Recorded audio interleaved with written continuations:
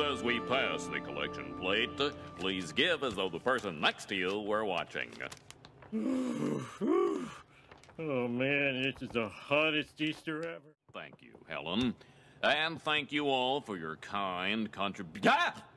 A chocolate bunny? Who put this wicked idol in the collection plate? Relax, I found it in the dumpster. Perhaps we need a hefty dose of the good book. In the beginning. Excuse me, Reverend. It's uh, hard to hear you with those fans going. Well, let's get those off then.